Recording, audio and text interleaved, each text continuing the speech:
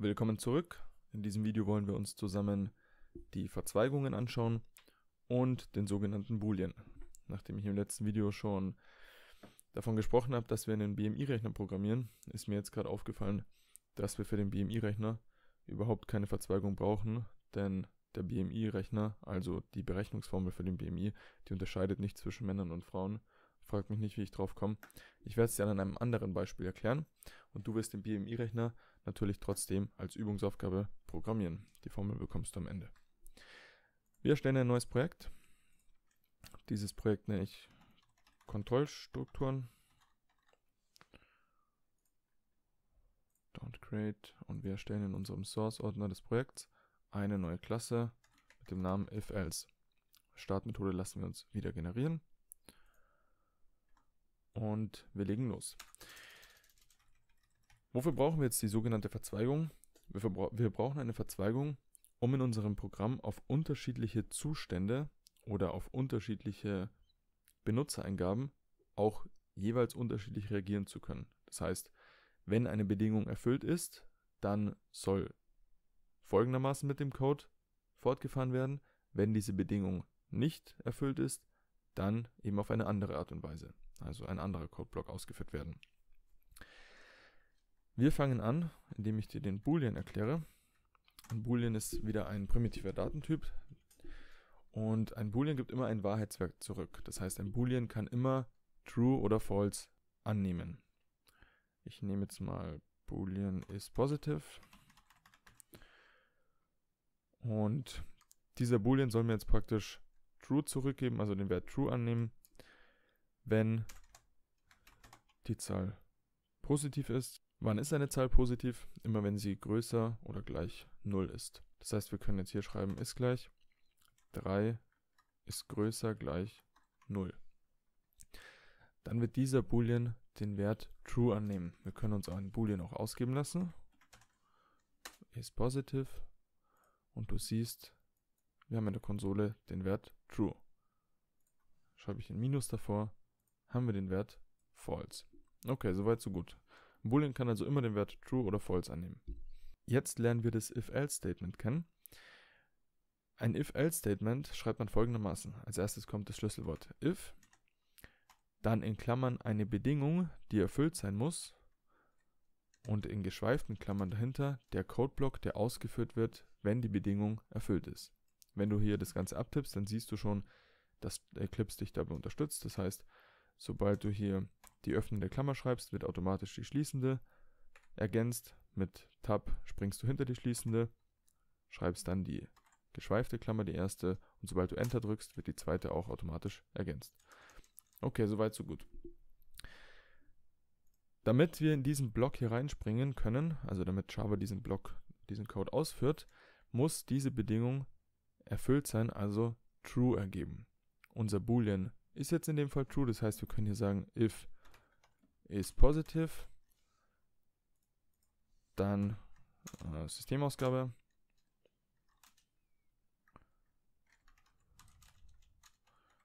Bedingung ist erfüllt.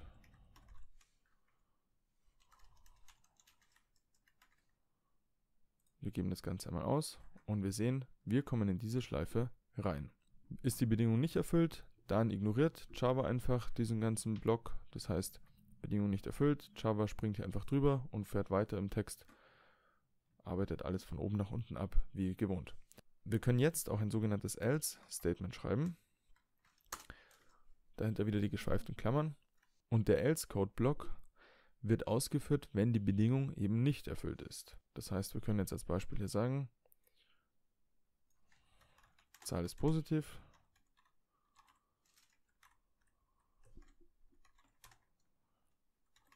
Zahl ist negativ. Wir testen das Ganze einmal. Gut, unsere Zahl ist positiv. Das stimmt. Wenn ich jetzt hier Minus eingebe, dann ist unsere Zahl minus 3 negativ. Okay, soweit so gut. Wir können auch in unsere Klammern hier direkt eine Bedingung reinschreiben. Das heißt, wir müssen dafür nicht extra den Boolean deklarieren und anlegen. Das heißt, wir können auch uns vom Benutzer eine Zahl eingeben lassen deklariere als erstes eine Integer Number und einen Scanner. Scanner, Scanner, gleich New Scanner, das kennst du schon. Übergeben System.in. Dann soll unser Benutzer eine Zahl eingeben. Und diese Zahl soll von unserem Scanner entgegengenommen werden und in der Variable Number hier gespeichert werden. Also scanner.nextInt. Okay, das heißt, wir können jetzt hier in unserer in unserem if-else-Statement sagen, if number größer gleich 0, dann ist die Zahl positiv. Ist das nicht der Fall, muss die Zahl negativ sein. Bitte eine Zahl eingeben. 4, Zahl ist positiv. Bitte eine Zahl eingeben. Minus 1, Zahl ist negativ. Geben wir 0 ein, ist die Zahl auch positiv. Okay, das passt soweit. In unserer Bedingung hier haben wir jetzt hier im Endeffekt eine einfache mathematische Operation durchgeführt und wir können jetzt auch unsere if-Schleife ergänzen. Mit ergänzen meine ich, wir können mehrere Bedingungen abfragen. Das heißt, wir wollen jetzt in unserem Fall abfragen, ist die Zahl größer 0, kleiner 0 oder ist die Zahl gleich 0. Das heißt, wir sagen jetzt if, dann unsere Number gleich gleich 0 mit einem Doppel ist gleich, kannst du Zahlenwerte vergleichen. Wenn unsere Zahl 0 ist, dann Systemausgabe, Zahl ist 0.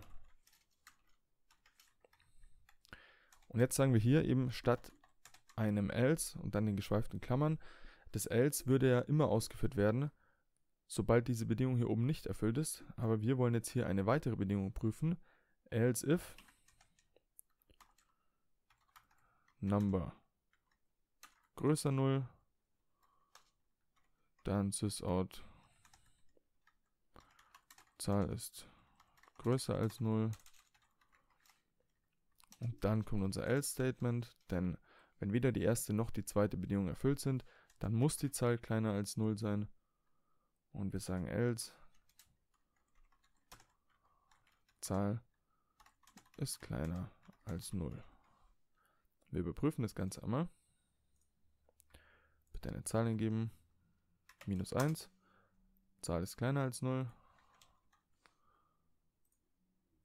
Wir geben die 0 ein. Zahl ist 0. Und wir geben die 3 ein. Zahl ist größer als 0. Das heißt, jetzt können wir schon in Abhängigkeit von der Eingabe unseres Benutzers auf drei verschiedene Arten und Weisen, auf drei verschiedene Wege reagieren. Diese if-Abfragen, die kann man auch ineinander verschachteln. Ich zeige dir das Ganze jetzt anhand eines Logins. Das heißt, als erstes erstellen wir ein String Username, ist von mir aus Admin, String Password gleich 1, 2, 3, 4, 5, 6. Dann brauchen wir noch einen weiteren String und zwar entered username und den String entered password. Wie du hier siehst, müssen wir nicht immer eine neue Zeile schreiben, sondern wir können auch mehrere Strings hier hintereinander deklarieren. Dann brauchen wir einen Scanner.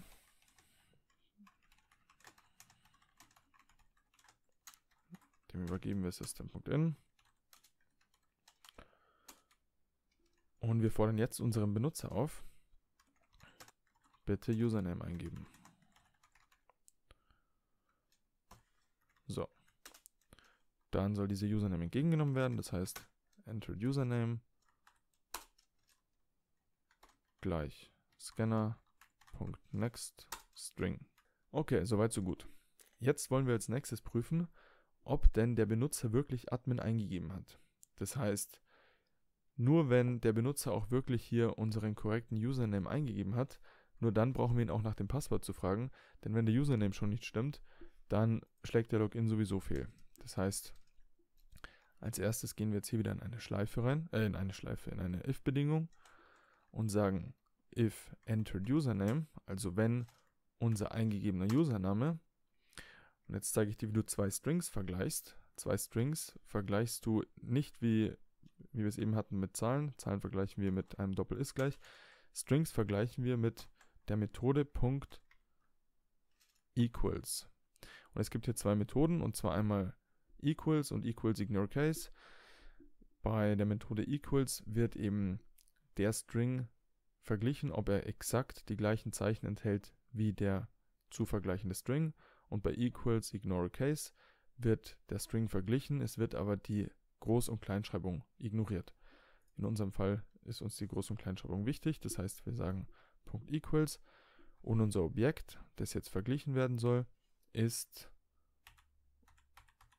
der Username. Also, wenn entered username, der eingegebene Benutzername, gleich ist, Punkt equals, mit unserem fest hinterlegten Username admin, dann Passwort abfragen. Und wenn nicht, das können wir schon mal programmieren, wenn der nicht gleich ist, dann können wir direkt eine Systemausgabe machen und sagen, Username ist nicht vorhanden. So. Das heißt, wir brauchen jetzt hier eine neue if-Bedingung in unserer if-Bedingung. Also fordern wir unseren Benutzer auf, das Passwort einzugeben. Und auch dieses Passwort nehmen wir entgegen. Enter Passwort gleich Scanner. Next. Und wir wollen dieses Kennwort jetzt vergleichen. Das heißt, if unser entered Password Punkt equals mit unserem hinterlegten Passwort, dann Login erfolgreich. Wenn das nicht der Fall ist, haben wir eine Systemausgabe und die heißt äh, Passwort nicht korrekt von mir aus. Und was ist der Login erfolgreich? Da machen wir jetzt auch eine einfache Systemausgabe und die sagt Login erfolgreich. Okay, ich erkläre das Ganze jetzt nochmal. Dann wirst du das auch relativ schnell verstehen. Wir haben jetzt hier unsere if-Abfrage. Die if-Abfrage prüft, ist der eingegebene Username, der wird hier oben entgegengenommen, ist der eingegebene Username identisch mit unserem hinterlegten Username, also mit unserem Username Admin. Ist das der Fall, dann wird der Benutzer aufgefordert, sein Passwort einzugeben. Das Passwort wird entgegengenommen und wir haben eine neue, Prüf eine neue Prüfung.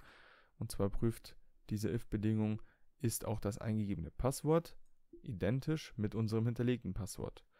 Ist das der Fall? Ist der Login erfolgreich? Ist das nicht der Fall? Ist das Passwort nicht korrekt? Wenn schon der Username oben nicht korrekt ist, dann ist der Username nicht vorhanden und wir gehen direkt aus der Schleife raus. Okay, wir wollen das Ganze einmal testen. Also bitte Username eingeben, Admin, Passwort eingeben, 1, 2, 3, 4, 5 sage ich jetzt mal, Passwort nicht korrekt. Username ist nicht vorhanden und jetzt gebe ich einmal alles korrekt an. Und wir sehen, der Login ist erfolgreich. So verschachtelst du deine if-Abfragen. Das heißt, du prüfst als erstes, ist eine Bedingung erfüllt und wenn diese Bedingung erfüllt ist, dann prüfst du, ob eine weitere Bedingung erfüllt ist. Bevor du jetzt gleich von mir vier Übungsaufgaben bekommst, will ich dir noch kurz was Neues beibringen. Und zwar haben wir gesagt, wenn wir Strings vergleichen wollen, dann verwenden wir die Methode .equals. Haben wir oben schon angewendet. Wenn wir Character oder Zahlen äh, vergleichen wollen, dann verwenden wir ein Doppel ist gleich. Das ist wichtig zu wissen. Und jetzt gibt es noch mehr Möglichkeiten.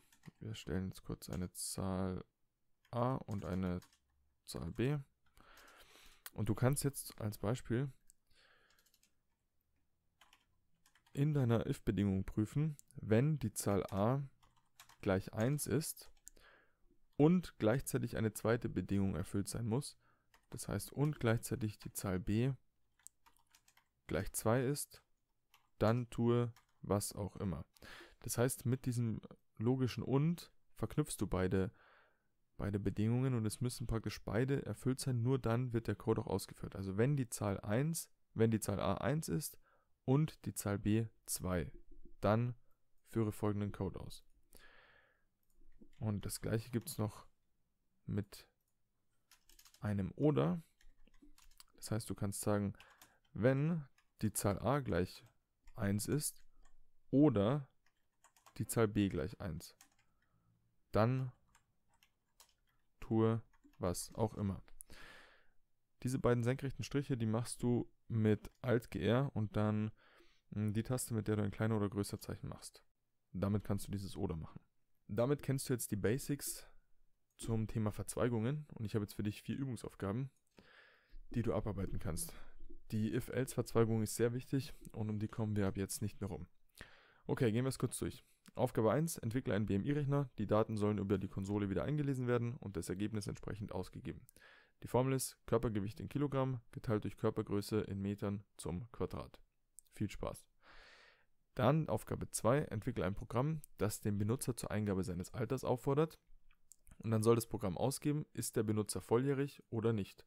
Ist der Benutzer nicht volljährig, dann soll zusätzlich ausgegeben werden, in wie vielen Jahren der Benutzer volljährig wird. Aufgabe 3. Entwickle ein Programm, das den Benutzer zur Eingabe seines Alters auffordert und dann soll ausgegeben werden, inwiefern der Benutzer mit seinem Alter strafunmündig, bedingt strafmündig oder voll strafmündig ist. In den Klammern seht ihr jeweils, welche Eigenschaft auf welches Alter zutrifft. Aufgabe 9. Entwickle ein Programm, das den Benutzer auffordert, einen beliebigen Buchstaben einzugeben. Ich habe dir oben gezeigt, wie du einen Character vergleichen kannst, ob ein bestimmtes Zeichen praktisch im Character gespeichert ist. In diesem Fall nimmst du bitte trotzdem einen String, das heißt, du nimmst den eingegebenen Buchstaben als String entgegen, denn der Scanner kann keine einzelnen Character entgegennehmen. Wir müssten da den String umwandeln und das haben wir noch nicht gelernt. Kommt aber noch in den nächsten Lektionen.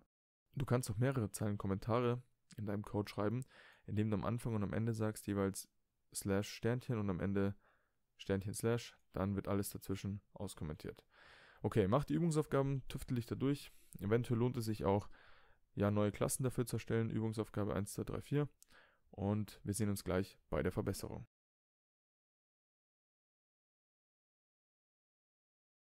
Wir verbessern die Übungsaufgaben. Ich habe hier ein neues Projekt erstellt mit dem Namen Übungsaufgaben und hier meine ganzen Klassen erstellt, in der ich jeweils eine Übungsaufgabe drin habe.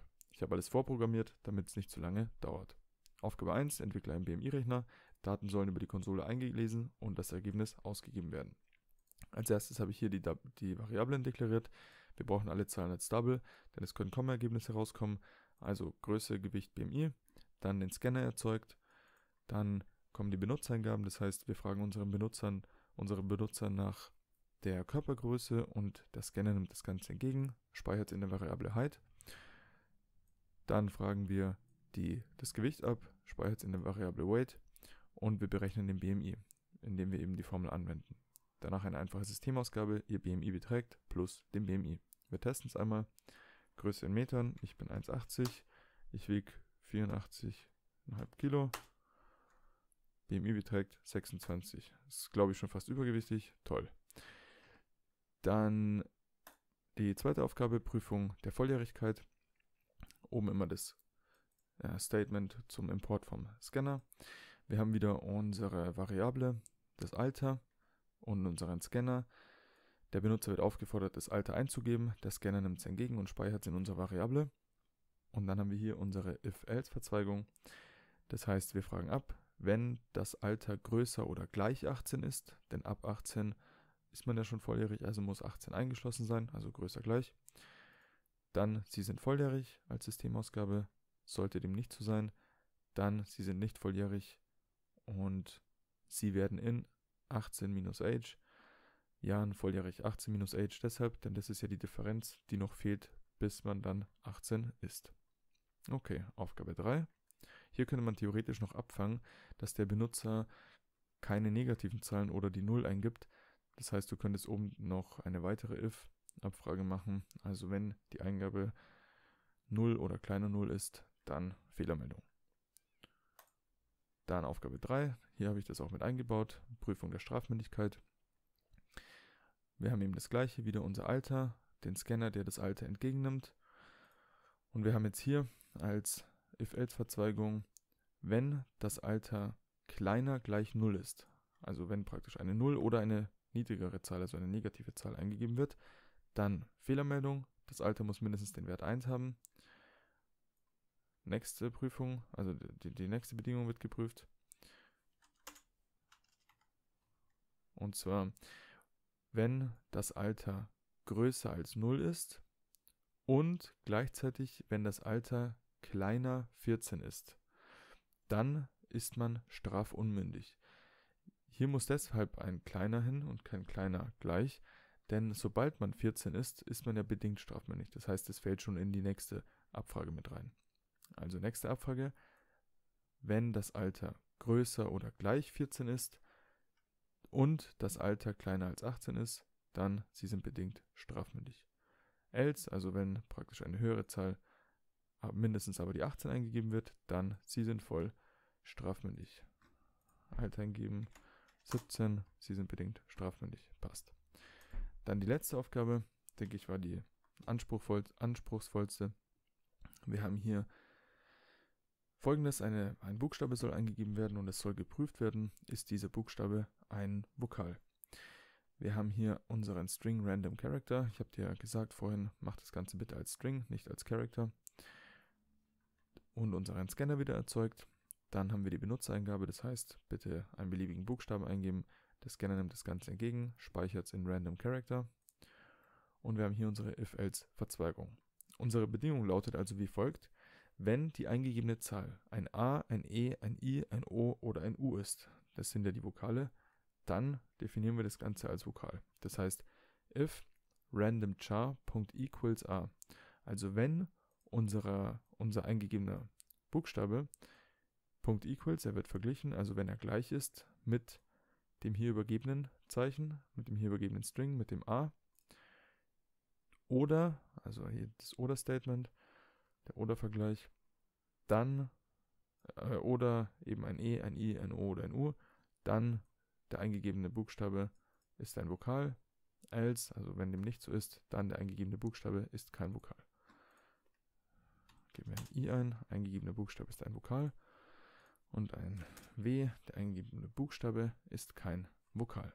Okay, das war's soweit zu dieser Lektion. Im nächsten Video und in den nächsten Videos werden wir uns mit Schleifen beschäftigen. Das heißt, wie können wir dafür sorgen, dass bestimmter Code immer wieder oder mehrmals hintereinander durchgeführt wird, solange bis eine bestimmte Bedingung eintrifft.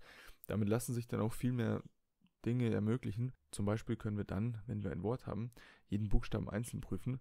So lassen sich zum Beispiel ja, Programme schreiben, bei denen der User was eintippt und die Anschlagsfehler werden gezählt oder sowas. Und wenn wir uns dann in den nächsten Lektionen auch mit Listen und Arrays beschäftigen, dann können wir auch wesentlich mehr Variablen in unserem Programm effektiv verarbeiten, Objekte und Eingaben sortieren, ordnen etc.